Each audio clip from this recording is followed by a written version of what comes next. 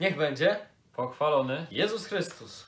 Kochani, dzisiaj patrzymy na Was z innej perspektywy. z innej perspektywy. My y, tak sobie to dzisiaj odczytaliśmy w Słowie Bożym, że właśnie człowiek jest taki, y, że on stara się patrzeć o, przez jakiś taki rulonik, y, przez jakiś taki ograniczoną perspektywę, bo my patrzymy przez perspektywę naszego świata, tego co doświadczamy tutaj, tego co nas otacza. Natomiast dzisiejsze Słowo Boże, kolejny fragment Ewangelii według świętego Jana, podpowiada nam e, zupełnie inną perspektywę. Perspektywę, z której patrzy Bóg, z której patrzy Jezus Chrystus. Pan Jezus dzisiaj w tej Ewangelii posługuje się takimi słowami jak chwila. Jeszcze chwila, a mnie nie zobaczycie, nie będziecie mnie widzieć. Jeszcze chwila, a potem mnie ujrzycie. E, Będziecie się smucili, a potem jeszcze chwila i będziecie się weselili, będziecie się weselić. No i co to znaczy ta chwila e, w ustach Pana Jezusa? E, I tak sobie pomyśleliśmy, że to właśnie chodzi o tą perspektywę patrzenia na świat, na codzienność. Że my patrzymy, o właśnie tak, trochę ograniczona jest ta perspektywa, a Pan Jezus patrzy z perspektywy Królestwa Bożego.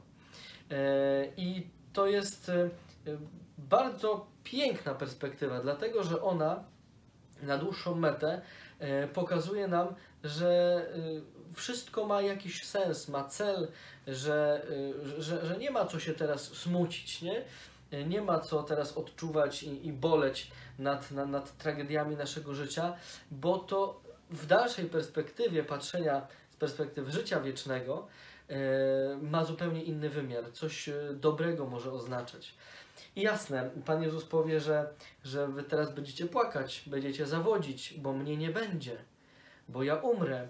E, I Pan Jezus się na to zgadza. Czyli Pan Jezus nie, nie neguje, nie gani naszych e, uczuć, smutków, naszych e, żalów z jakichś tam powodów, na przykład z powodu tego, że ktoś nam bliski odchodzi.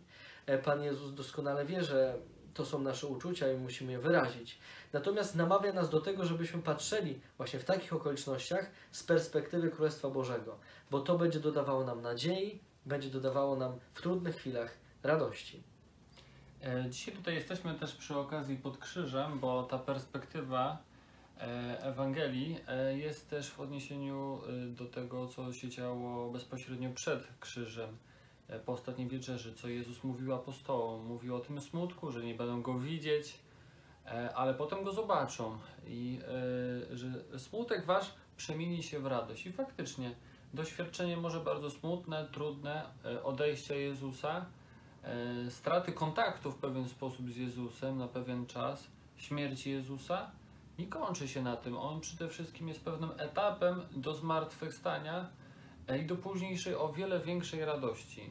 I e, ta perspektywa nasza, czasami taka ograniczona, kiedy my się skupiamy na czymś, co jest naszym smutkiem, może jakiś brak, może właśnie jakaś zmiana w naszym życiu, jakieś odejście, e, pewien zakończony etap e, może nas napawać smutkiem, e, a i Pan Bóg pokazuje nam inną perspektywę, właśnie patrzenia na to jako na chwilę, ale w drodze do nieba, e, do pełnego szczęścia, do radości i z tą świadomością, że On jest cały czas przy nas, więc naprawdę nie musimy się smucić, nie musimy się lękać, możemy mieć w sobie radość z Jego obecności.